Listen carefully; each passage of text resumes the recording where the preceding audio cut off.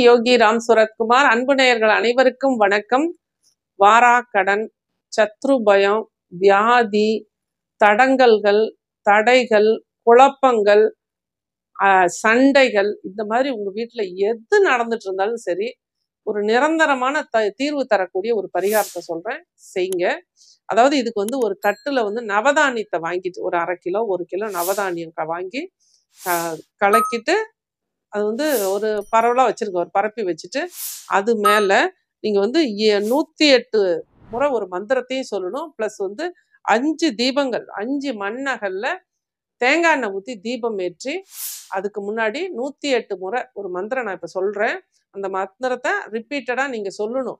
நூற்றி எட்டு நா நூற்றி எட்டு முறை ஏழு நாட்களுக்கு சூரிய உதயத்துக்கு முன்னாடி அதாவது நாலரை டு ஆறுக்குள்ளே இது போல் நீங்கள் பண்ணணும். அந்த மண்ணகல் அப்படியே இருக்கட்டும் அந்த நவதானியமும் ஏழு நாளைக்கு அப்படியே இருக்கட்டும் அது மேலே இந்த அஞ்சு தீபமும் அப்படியே இருக்கட்டும் ஒவ்வொரு நாளும் திரியை எடுத்துட்டு புதுசாக நீங்கள் வந்து தேங்காய் ஊற்றி தீபம் ஏற்றிட்டு நூற்றி எட்டு முறை இந்த மந்திரத்தை தொடர்ந்து சொல்லிட்டு வாங்க. அதாவது ஓம் ஜெய ஜெய ஸ்ரீ ஐஸ்வர்ய லக்ஷ்மி ஓம் க்ரீம் மசி வசி வசி சர்வகடன் சத்ரு சத்ரு ரோகம் தோஷம் நசி நசி நசி.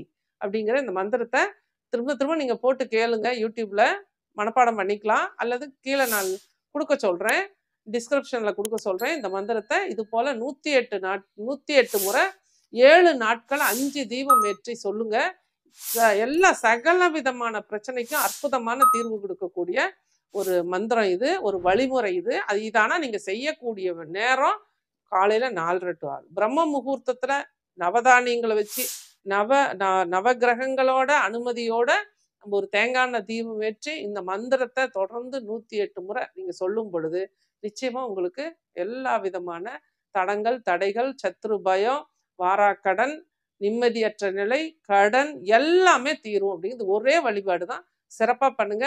ஏன்னா ஒருத்தருக்கு ஒரு வழிபாடு செயல்படும் ஒருத்தருக்கு செயல்படாது. யாரெல்லாம் நான் எதை பண்ணனாலும் எனக்கு தீரவே இல்லை அப்படிங்கிறவங்க இந்த விஷயத்த பண்ணுங்க. நிச்சயமா நல்லது நடக்கும். நன்றி. narpani